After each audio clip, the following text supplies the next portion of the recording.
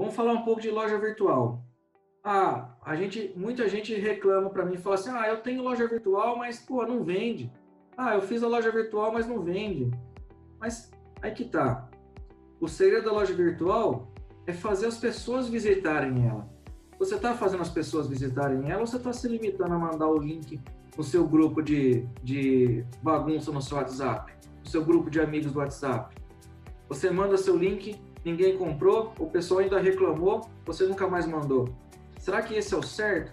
Será que esse é o caminho certo que você deve fazer para atrair a atenção dos seus clientes, para atrair atenção para sua loja?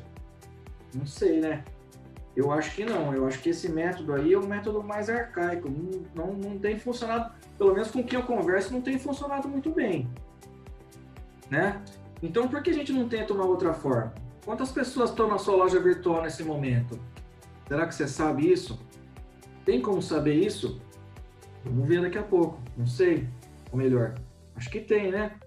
O que as pessoas procuram na sua loja? Onde elas clicam? Até onde elas vão na sua página? Quando você monta a sua loja virtual, o que, você coloca em cima? Ah, eu coloco um banner bem grandão, assim, que promoção.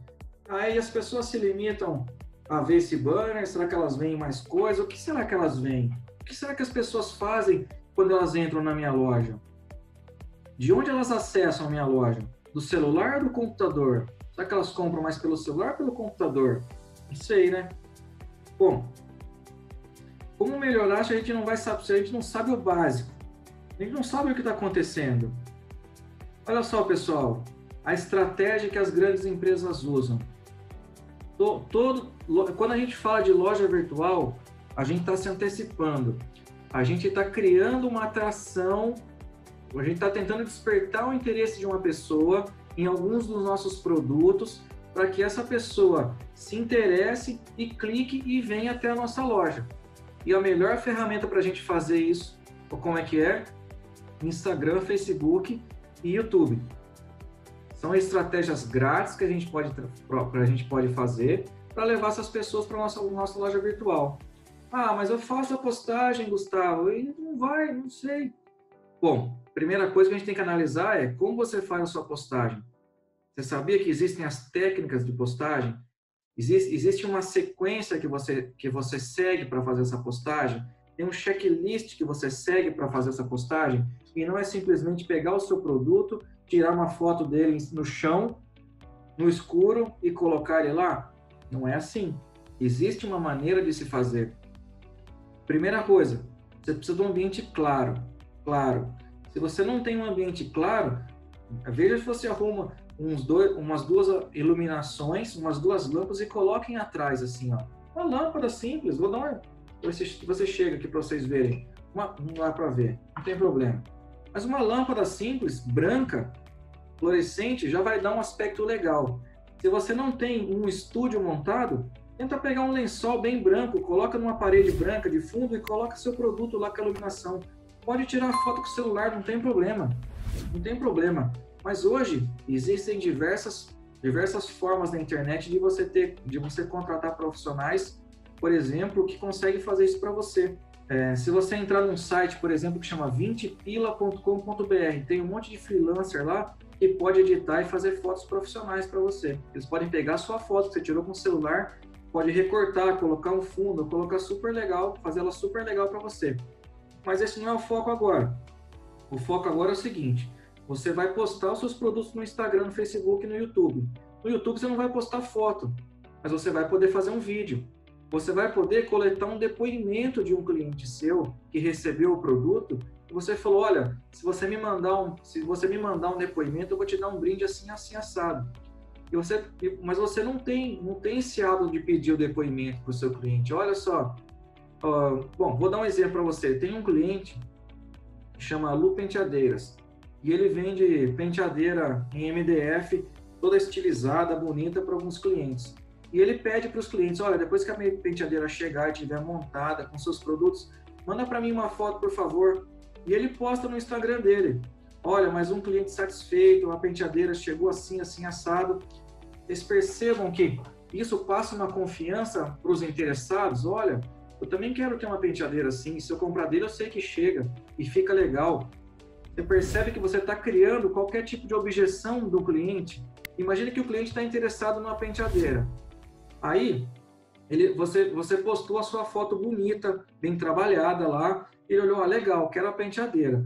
Ah, vou clicar aqui, vou chamar ele, vou ver a loja, e o seu link do, do Instagram leva para sua loja virtual.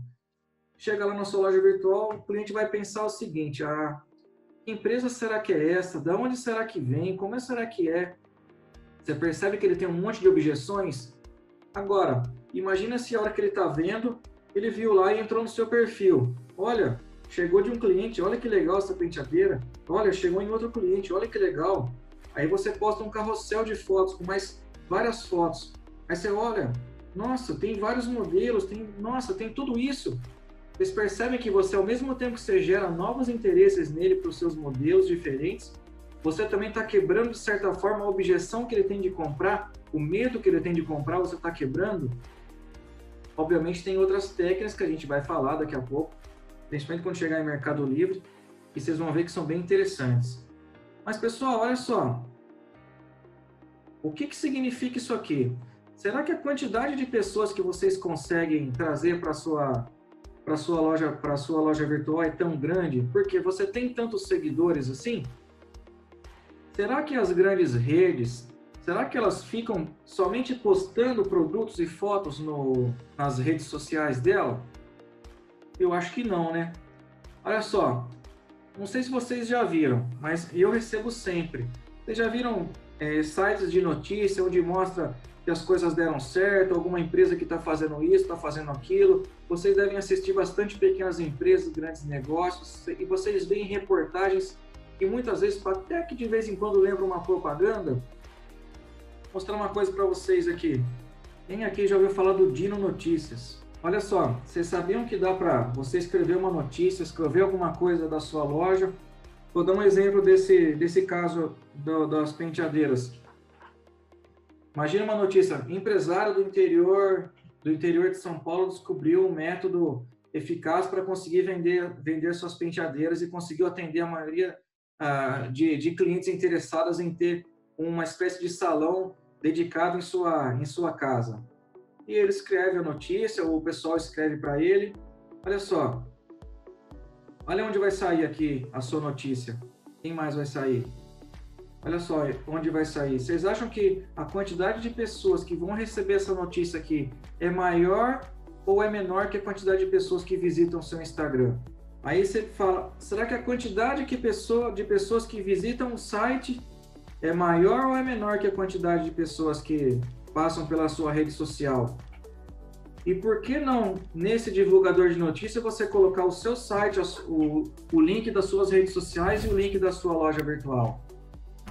Não precisa ser uma, uma propaganda, um, um, texto em forma de propaganda.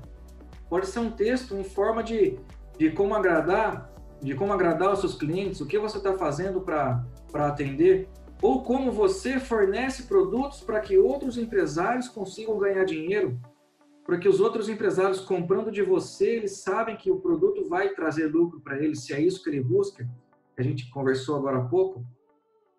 Legal, pessoal?